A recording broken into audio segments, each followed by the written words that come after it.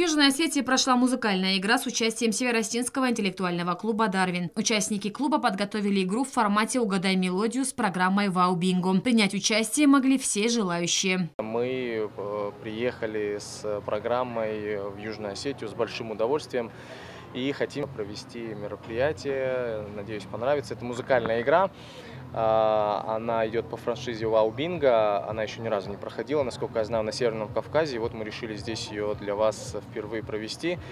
А, ну, в принципе, это угадай, типа угадай мелодию, только в особом таком формате, интересном. Я думаю, что понравится. Есть бинго-туры а, такие, их надо будет по ходу исполнения заполнять. И, кто быстрее соберет э, выигрышную комбинацию, тот получит приз. Участники отметили, что мероприятие получилось очень интересным и веселым. Игра длилась более двух часов. Клуб «Дарвин» более семи лет проводит игры в формате «Что, где, когда» в Северной Осетии. Сюда они приехали по приглашению представительства Руссотрудничества и молодежной организации «Дина Алания». Мероприятие приурочили Дню молодежи и празднику семьи, любви и верности. Зарина Кочева, Арнольд Харибов. Информационный выпуск сегодня.